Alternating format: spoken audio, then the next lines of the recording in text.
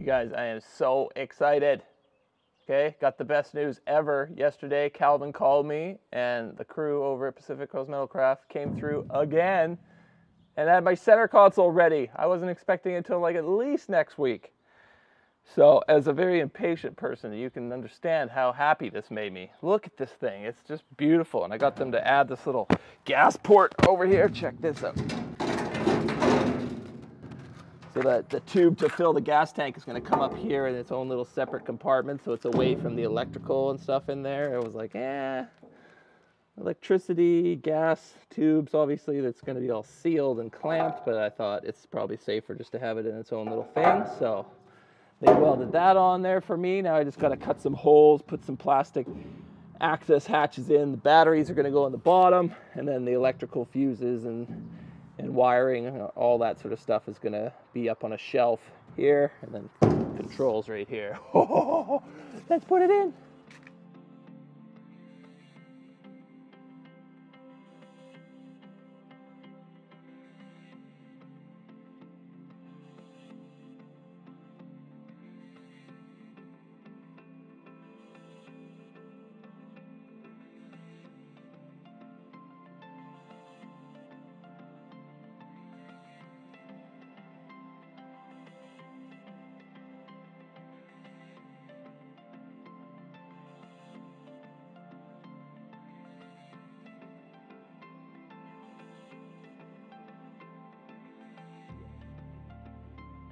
Time to get this gas port installed. So that's gonna go right there. But I need to access this coupler here to be able to tighten the hose clamps on there and loosen them off if I ever need to remove them. So I gotta put an access panel right here. This little four inch waterproof access panel. So I've traced out the circle here and I'm just trying to, I don't have a hole saw that big, it's four and a half inches. Uh, I think I'm gonna just drill a hole and try and jigsaw as much as I can and then Sawzall this part. That's too close for the jigsaw. So Hey guys, just a heads up for those of you out there who are interested in learning Kumiko. Neil Paskin is going to be teaching a course in June with the Makers Mob, showing you everything from material preparation, building your own jigs, and cutting and assembling the Kumiko patterns. If you want more information on the course, click the link in the description box below because registration ends June 13th.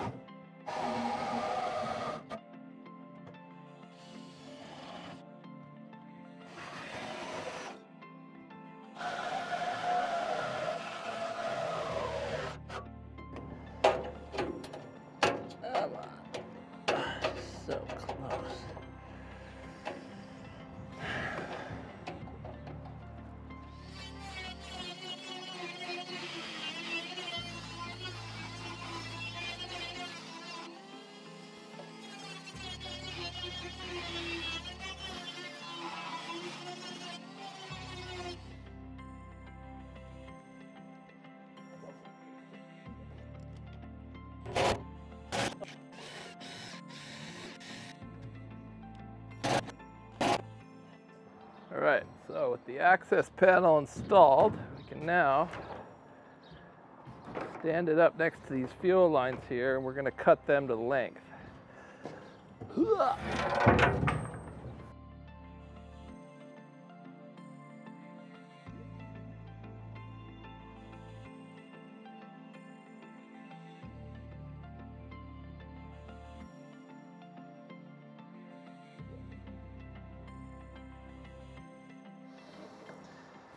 Okay, so before we drop this in, we got a Sikaflex around the opening and we got to get our hose clamps on here.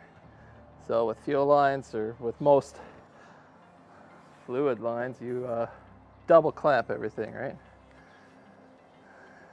So you got a safety mechanism. So I got one on there. I'm just going to slide the other one on, but I don't want it to drop down because I don't have a.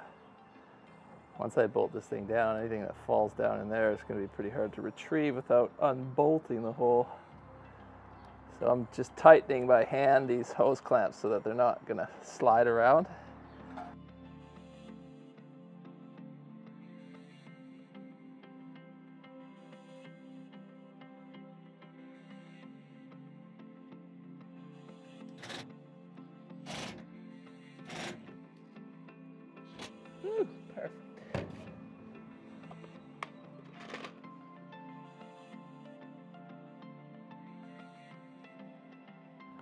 Okay, looks like the tubes are all the way up there. So now I just gotta get a wrench in there to tighten those hose clamps. Then we can bolt down the console.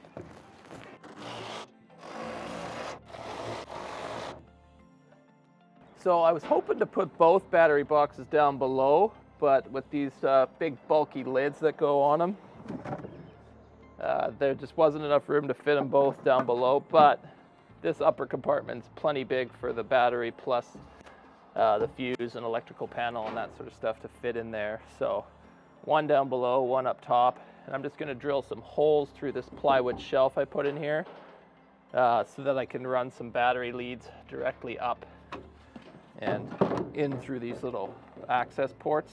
Then I've got a little template and I'm gonna lay out where my switch panel goes. And then I think I'm gonna put the ignition over here, throttle here, steering wheel, and then the gauge somewhere up top. So let's finish, get this console all roughed in.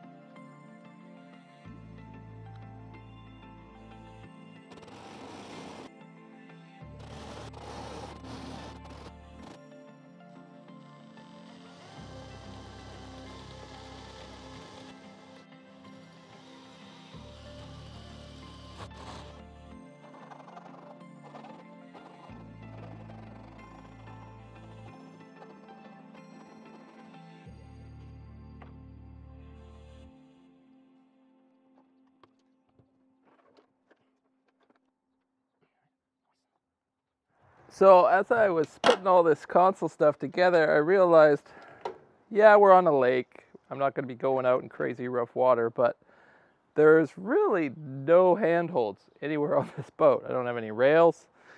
I don't have any seats or framework to grab onto really. Um, and especially at the center console, you know, other than the steering wheel, you know, if somebody's standing beside me or or whatever and the boat rocks, you got to have something to grab onto and there's there's nothing here, right? So I picked up these stainless rails. You know, it would have been nice to just have Calvin weld these handles on there, but you know, he threw this together so quick for me that I'm not going to keep going back there and hassling him and taking up his time. So um, I'm just going to use these stainless ones that I bought at the store. So that way, you know, somebody standing here, if the boat's given a rock, you got something to grab onto before you go overboard. All right, so I'm switching out these little small washers for like a nice big one on the inside. And I might actually even stack the small one on top of there as well, just to spread the weight out and then the nut. So that should give it plenty of strength. And then I'm gonna put my good friend Sikaflex here just around the base. So I don't want any water getting in. Oh, now we're just making a mess.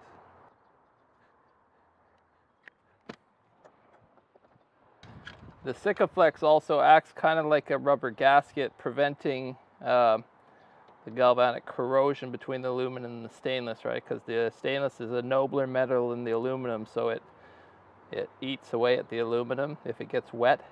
So having the Sikaflex in there kind of creates like a gasket that prevents most of the contact and will only have minimal corrosion that way. And I'll spare you the glory of me reaching in here and putting these nuts on. It'll just be a lot of swearing.